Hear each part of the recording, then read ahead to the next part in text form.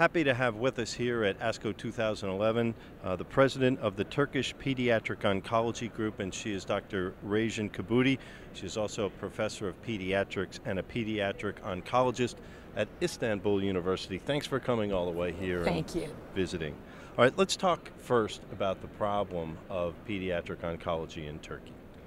Yes, Turkey is a, a country with a population of 70 million people and one fourth of the population is less than 15 years old, and one third is less than 18 years old. So we do have a lot of pediatric cancer at adolescents. We know that uh, children's cancer is 2 to 4 percent of all cancers. That's good, but still it's a substantial number.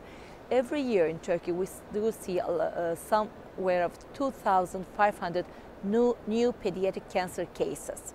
And the Turkish Pediatric Oncology Group was founded in 1997 and in fact, pediatric oncology in Turkey dates back to 1960s. And in 1984, it was accepted as an official subspecialty. So we have had a very good training in pediatric oncology, all pediatric oncologists that uh, have taken the license.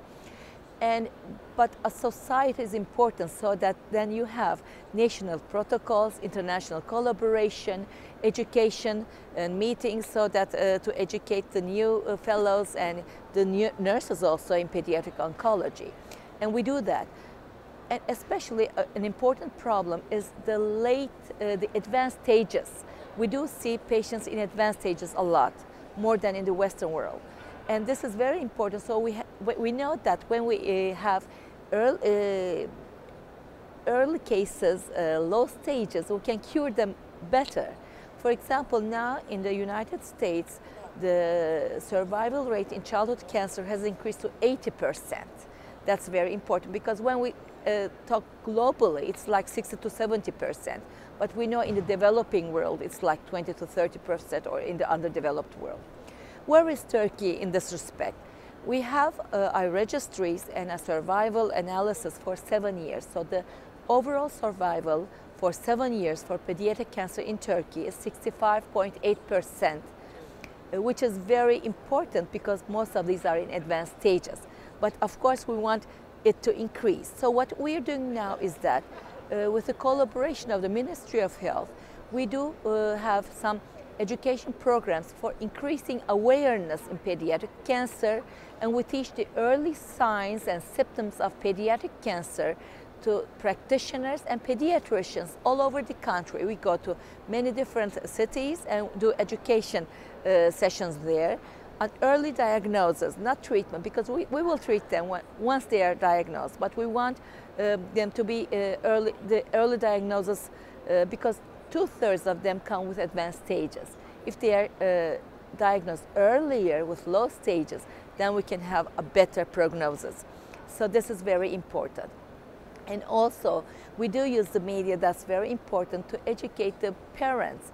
You know, in children cancer, we do not have uh, the breast cancer survey, uh, like uh, we do not have mammography for breast cancer. We have it in adults, and also we have the screening tests for adults for breast cancer, for prostate cancer, and for colorectal cancer. But in childhood uh, cancer, we do not have screening tests. So we rely on the early signs and symptoms. So we want the parents to bring the children when they have these signs and symptoms to the doctor.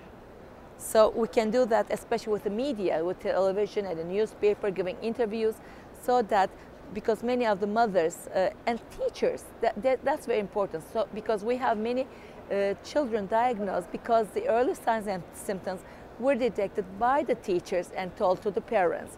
So we try to tell about these in the media and also, as I said, we do the education sessions for the both in, for our students in the university and for the practitioners and for the pediatricians all over the country so that we have the, they know the early signs and symptoms of cancer because no one would like to think of cancer in a child. They would first think the infections, which is really important, but at least we have to exclude that it is not cancer. A child that's coming with a bone pain at a certain place or bone pain for a long time, at least we have to think that it may be cancer or it is anemia for a long time and it is not diagnosed, it can be a leukemia, or it's a thrombocytopenia, or uh, it is fatigue for a long time, or infections that are recurring, uh, we have to think of uh, cancer.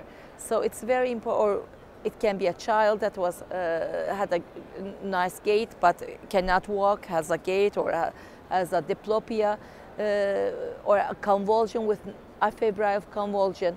We teach these, uh, especially in the sessions, that it can be an early sign or symptom of cancer. So it sounds like your pediatric oncology group has an initiative to educate and promote awareness of childhood cancer throughout Turkey. Yes, this is very important because, as I say, when we have low stages, you have a survival rate of 90%, 95% in some cancers. Like in a neuroblastoma, stage one or two, you have 80% of cure. Whereas in a neuroblastoma, stage three, it's like 50%. Stage four, it, is, it goes down to 20% or even less.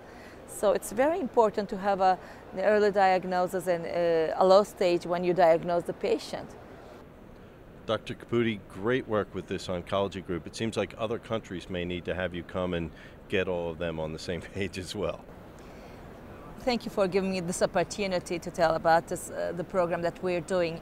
And I think it is worthwhile, and uh, yes, many countries may do that, especially the developing countries, and it is very important. Thank nice you. job. Dr. Rejin Kebudi, she is president of the Turkish Pediatric Oncology Group, joining us here on Oncology.tv at 2011 ASCO in Chicago, Illinois.